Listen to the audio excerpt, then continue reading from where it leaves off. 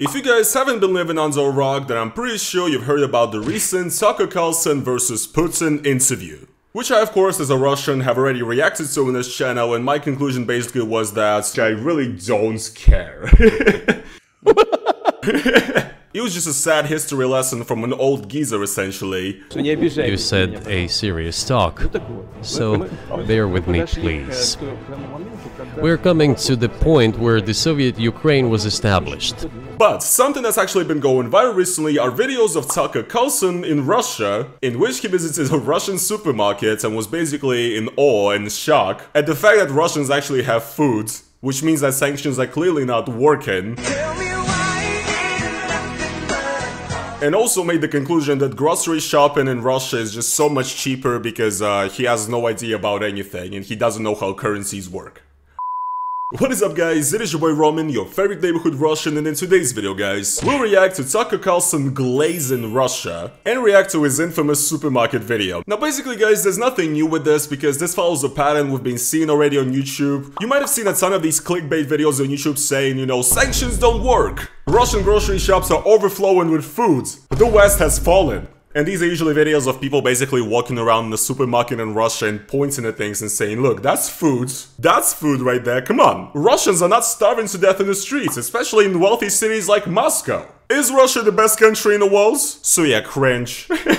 Especially how we can clearly see consequences to the Russian economy as far as sanctions go. The Russian ruble has crashed, and the regular people, especially in provincial Russia, we have salaries like 20,000, 30,000 rubles a month. The regular people are definitely getting poorer and poorer. And I know that this affects real people because it's all I hear from people and like my relatives. How expensive everything, including groceries, is getting. But what do I know, guys, right? So let's check out this eye-opening, revealing video by Tucker Carlson. So a long-standing feature, maybe the longest-standing feature of Cold War propaganda in the West was the Soviet grocery store.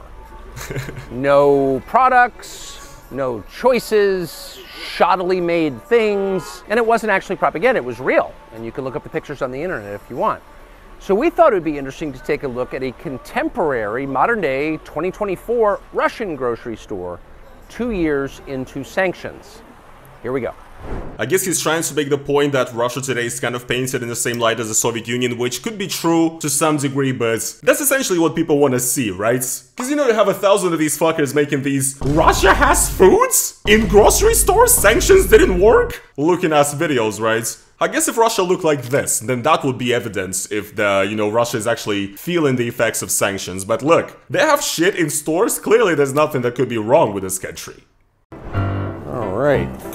There we go. So I guess you put in 10 rubles here and you get it back when you put the cart back.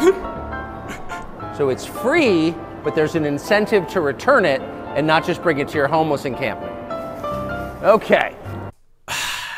Yeah, guys, I mean, I've already seen this particular clip, actually. it is hilarious to me that Tucker is amazed at the fact that you can use coins to, like, unlock shopping carts in supermarkets. I've seen this in pretty much every single country I've ever been to, in large supermarkets, like...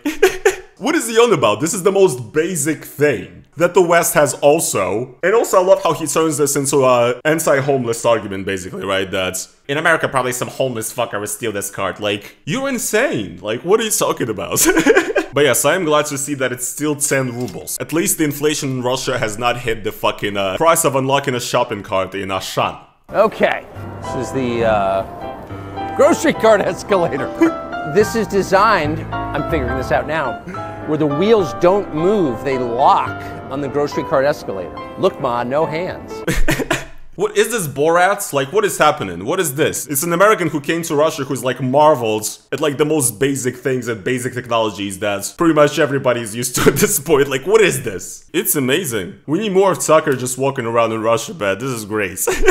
just the dumbest person ever. The most clueless American fucking happy-go-lucky guy in an environment that he does not understand. Best comedy show idea I've ever seen. Retail placement here is a little bit different. So you're it's like walking through Macy's to get to Whole Foods. Okay, we've gotten through the perfume section to get to the grocery store. So we're gonna try and buy what a family of four would buy every week.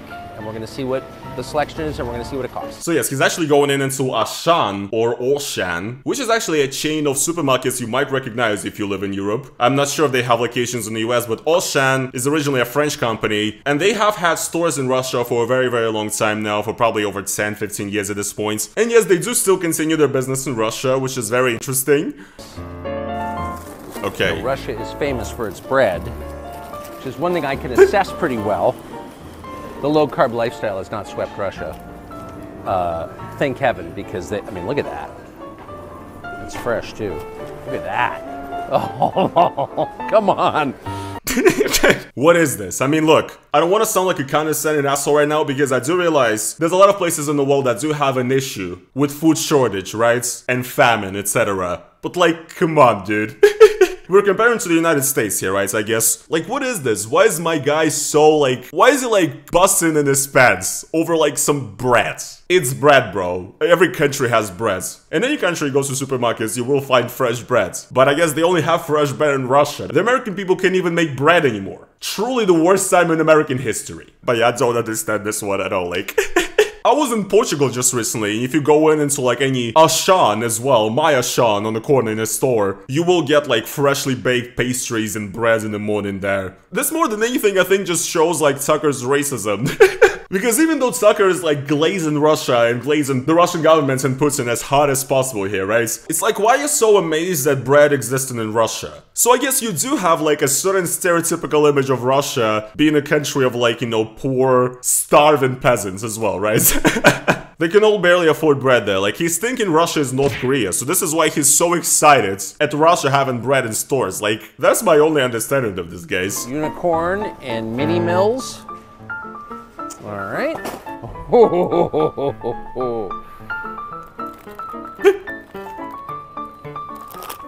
Some kind of Russian wheat cookies.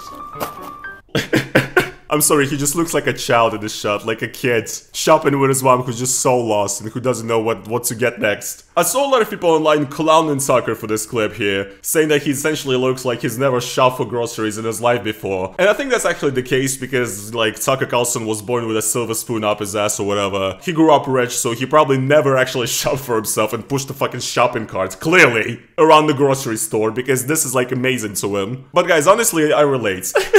I don't want to clown on my man too much. I have ADHD. I also have the eating habits of like a teenager still at 26 years old. Eating a full bag of potato chips as a meal type shit. So when I'm in a grocery store, I kind of feel the same, especially if I'm high.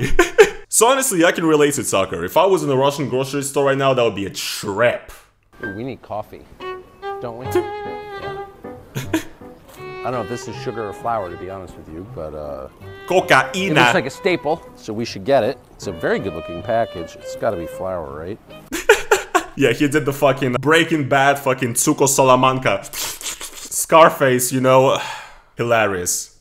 And this is Russian wine. It's from Crimea, which not only has the warm water naval base, but also is the source of most of the grapes uh, in this part of Russia for wine. So it's apparently pretty good. Of course, Tucker, yes, American journalist, let's promote Crimea being Russia. It's a good look, but also, Georgian wine clears, in my opinion.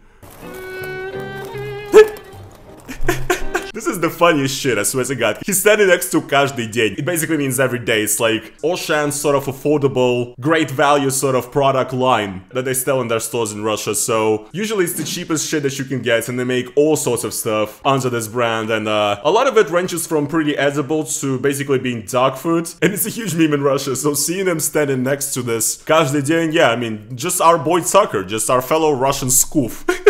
just shopping for some cash day. I mean, yeah, who hasn't been in this situation, really? This could be any of you guys. It could be me. So relatable. Check out of a grocery store and you've got gum, razor blades, and candy. Actually, they hide the razor blades because we steal them. Why they hide the razor blades, Tucker? The homeless probably about to steal it, right? That's why they do this. Not sure if that's like a compliment or an insult to Russia at this point. Mars, Twix, Snickers, Milky Way, Bounty, Gillette, Halls Cough Drops, Mentos. Looks pretty non-sanctioned to me, but what do I know? Yes, once again, this is something that people really confuse, I feel like. Sanctions put on Russia and just Western companies leaving Russia and refusing to sell their stuff in Russia is not exactly the same thing. these get confused a lot.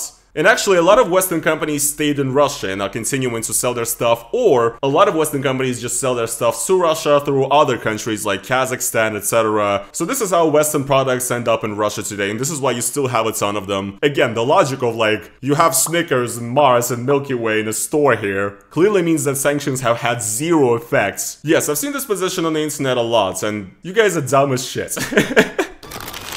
I went from amused to legitimately angry. There we go. Um, so we were guessing what this would cost. Everybody hears from the United States buys groceries, and we didn't pay any attention to costs as we were just putting in the cart what we would actually eat over a week.